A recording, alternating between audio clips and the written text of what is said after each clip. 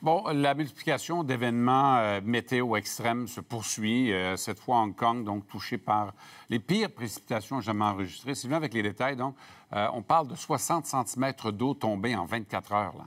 Pour les plus vieux, là, c'est deux pieds d'eau en 24 heures. Il y a certains endroits, 16 cm d'eau en une heure. Alors, évidemment, on comprendra qu'il y a eu d'énormes inondations, on le voit sur ces photos, mais davantage sur les images que vous allez voir.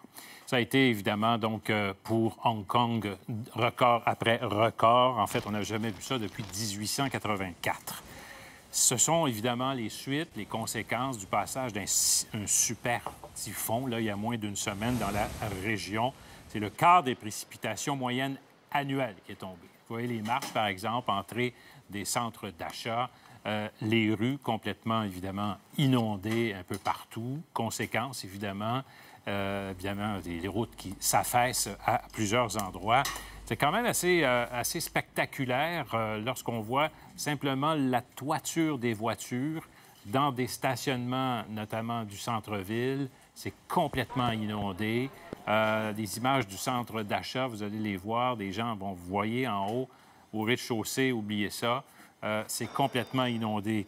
Euh, pour l'instant, bon, la météo indiquait que ce sont évidemment des records qui devaient se poursuivre au cours des heures qui allaient suivre.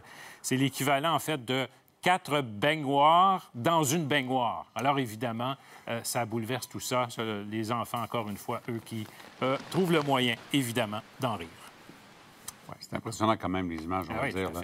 Euh, la Grèce, elle n'a pas fini de subir les conséquences de ces pluies. Là aussi, c'est impressionnant. Diluviennes qui sont tombées cette semaine. On le rappelle, dans un pays sec ou dans certains coins, il pleut quelques jours par année seulement. Et après les feux du mois d'août, évidemment. Ah là, maintenant, c'est dans le centre du pays. Regardez le résultat. Évidemment, il y a encore une fois des images euh, spectaculaires. Plusieurs décès, des gens qui euh, ont été sauvés là, in extremis par les sauveteurs, par hélicoptère, par bateau, un peu partout.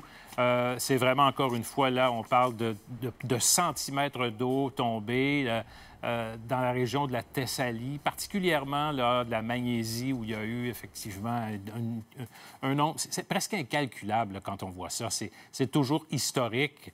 Euh, d'année en année, on dit historique, mais c'est des raccords qui, sont encore battus. Alors évidemment, on en a pour euh, le premier ministre là, qui a annulé plusieurs rentrées parlementaires pour pouvoir aller se rendre dans cette région.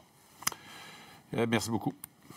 Ben, peut-être que je pourrais vous parler en terminant, là, si vous permettez, de, de, cet ouragan Lee qui s'amène. On est évidemment dans l'Atlantique actuellement, vers les Caraïbes. Il a atteint la catégorie 5. Il devrait peut-être, euh, bon, euh, jongler entre la catégorie 5 et la catégorie 4, mais les eaux sont chaudes. Alors, c'est pour ça que ça alimente évidemment la force des vents. On ne sait pas trop à quel moment, donc, euh, il va frapper terre, si jamais il touche terre. Donc, plus tard, donc, probablement la semaine prochaine. Merci beaucoup, Sylvain. Salut. Au revoir.